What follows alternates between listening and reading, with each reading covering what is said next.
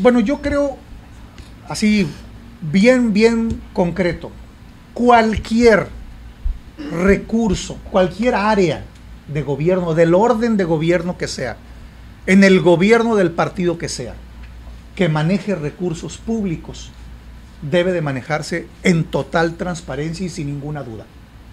Y se debe de hacer las auditorías necesarias y se deben de clarificar las dudas que sean.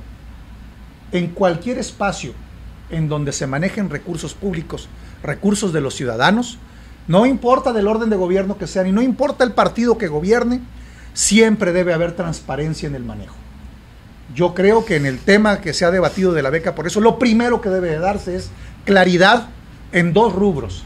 El primero, en la administración de la propia beca, para que no quede ninguna duda en cómo se realiza. Y segundo, que se le dé puntual seguimiento a las denuncias que se realizaron contra algunos funcionarios. Así debe de atenderse el tema. Puntual, frío y muy transparente. Que se de la Rosa.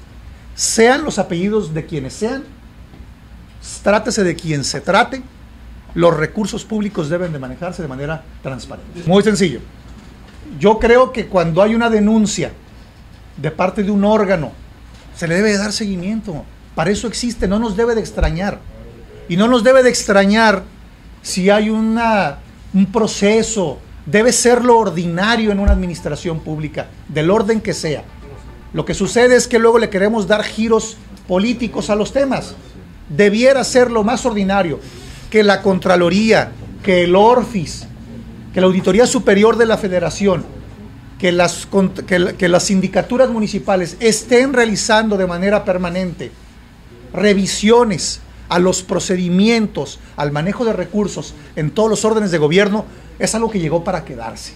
Es algo que no nos debe de extrañar, es algo bienvenido y que debemos de robustecer, de fortalecer.